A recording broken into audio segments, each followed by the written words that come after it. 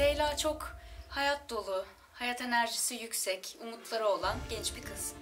Ee, Umut Leyla'nın çocukluk arkadaşı. Aslında çocukluğundan beri çok sevdiği ve bir yandan da çok hoşlandığı bir arkadaşı. Yıllar geçse de aralarındaki bağ hiç kopmamış. Ee, dolayısıyla da Umut'un hayallerine ortak olmak onu çok mutlu ediyor. Zehra da mahalleden arkadaşı. Büyük ihtimal onlar da çocukluktan beri beraberler. Zaten Bandırma'da küçük bir mahallede geçiyor bizim e, hikayemiz.